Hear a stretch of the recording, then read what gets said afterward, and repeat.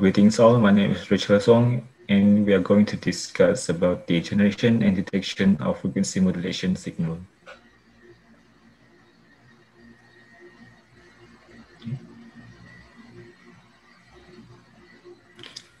So what actually is FM? FM is the encoding of information in the carrier wave by varying the instantaneous frequency of the wave.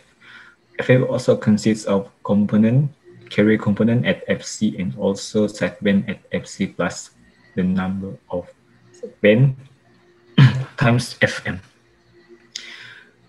There are two types of modulation. The, the first one is frequency modulation and the second one is amplitude modulation. So actually nowadays people are more using on the frequency modulation because frequency modulation has has a better noise rejection and larger signal to noise ratio. For example, FM radio, for example, the, the application of FM is radio broadcasting, radar seismic prospecting, telemetry, music synthesis, and two-way radio system. There are two types of frequency modulation model frequency modulation. The first, the first one is modulation and the second one is demodulation. So what is modulation? Modulation is moving low frequency signal to the carrier frequency position. So at the bottom of this slide, there are a diagram that shows the process of getting the modulated FM signal. The first, the first equation is integrated to get the BFM. After that, the integrated signal we going through the process of phase modulator to get the modulated FM signal.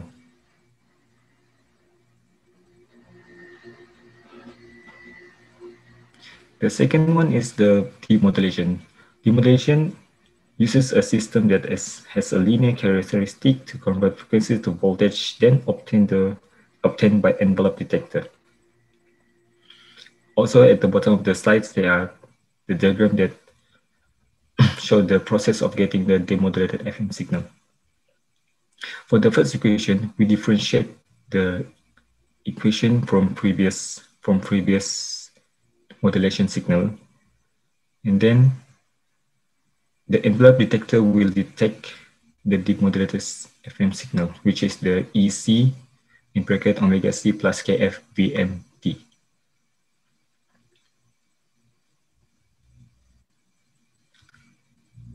The, the third one is the methodology on getting the, the result. The first one is we do the literature review such as such as using Google Scholar, IE Explorer, and more to get an idea on how we solve the problem. The second is the second one is the coding. We do, we do a reference on the literature review and develop our own code to solve the problem. The final one is the analysis and observation. From there, we know that we achieve the objective by analysis on what the result on the result. That's all from me. Uh, thank you, Rachel as well. Uh, my name is Alexander Anderson. Uh, my name is Alexander Anderson. I'm going to explain uh, about the analysis of modulation. So uh, this is the coding based on our on research, uh, our on yeah, our on problem solving. So as we can see that to produce a message signal, we're going to use this formula. And F1 is actually a message frequency. While the carrier signal, to obtain the carrier signal, we're going to use this formula, while F2 is a carrier frequency. So the result will be produce, uh, it will produce a, a negative maximum amplitude of message signal. Moving on, we're going to see how modulation and how frequency, uh, how we produce a frequency domain plot. So this is the coding we can see. Uh, as you can see here, the modulation index is 15, and this is the coding for frequency domain plot. And this is the result. Uh, wait, uh, as we can see here, uh, when beta is when beta is equal to 15, the the frequency deviation is more obvious. Yeah. Jadi ada nampak lah frequency deviation. So this is at beta is equal to 15. And uh, uh, and for when we uh, when we can from the frequency domain plot, we can see there are 33 peak. If we calculate, there are 33 peak. There are 33 peak. So uh, including the one carrier frequency band. So there are 16 sideband also. This is based on the Bessel level. Okay, moving on, we can see when we decrease the modulation index to 2, so 15 to 2, we can see there is no obvious frequency deviation. And we can see that uh, the band the bandwidth of the modulated signal decreased because we can we cannot see the frequency deviation.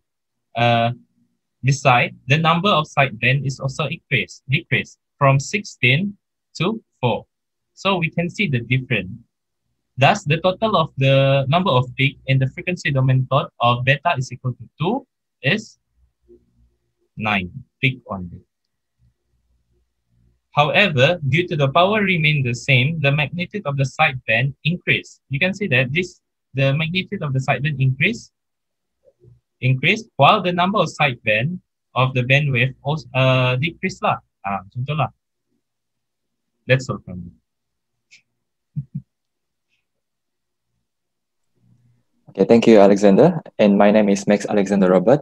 Now I, I will discuss about the analysis for demodulation uh, simulation. Okay, as you can see here, there are two graphs of waveform. First is the demodulation and at the bottom is the message signal, which is the original signal that we are using. So in decoding, we are actually using the differentiator method, which consists of differentiator and envelope detector. So uh, what is differentiator? Differentiator is to convert FM signal to AM signal by differentiating its signal frequency.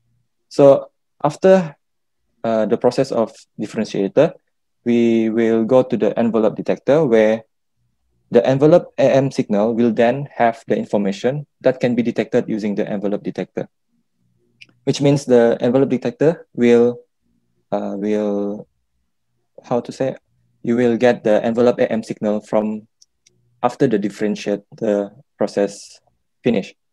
And uh, in the discriminator method, image, I want you to imagine we are having a circuit with diode and also a low pass filter, which is the capacitor itself. So in the in the circuit, uh, sorry, after having after the after the waveform is going through the circuit, we are not expecting a linear cosine graph, but some distortion will happen onto the detected audio signal.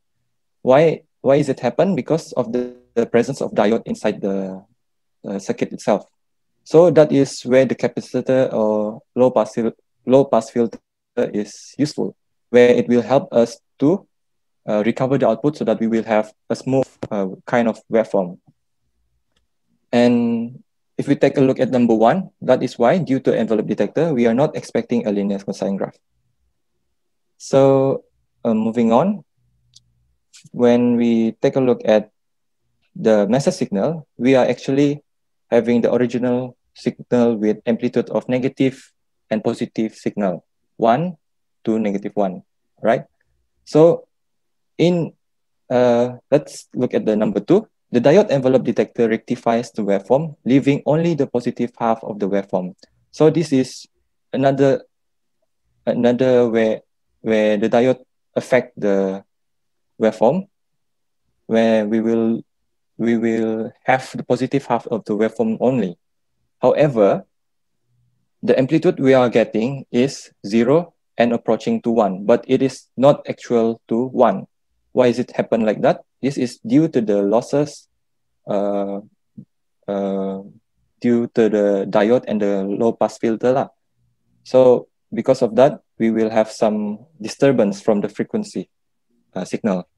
So that is why when in a real physical simulation, we need to use an amplifier. So what is the use of amplifier? Amplifier will help us to maximize the output signal of the waveform. So we will be having a value of one, which is the same as the message signal. Okay, let's move on. So before we end, I want to conclude for modulation. So when the number of uh, the number, we can see that the number of the sideband depend on the index modulation value or beta, we call as beta. Uh, and when the magnitude of the carrier signal decrease, the beta will increase. Lastly, I can conclude that we can conclude that the bandwidth of the modulated signal increase when beta is increased. For demodulation, the conclusion will be we are able to get the modulated signal to be almost the same as our message signal. And the second one, a simple FM demodulation technique is by using a direct method, which is the discriminator, by having the differentiator and envelope detector in the circuit. And last but not least, an amplifier should be connected to the circuit so that it can amplify the signal to its maximum. So this is the reference that we use in completing this, the assignment. And I think that is all from us. Thank you very much. Stay safe. Thank you.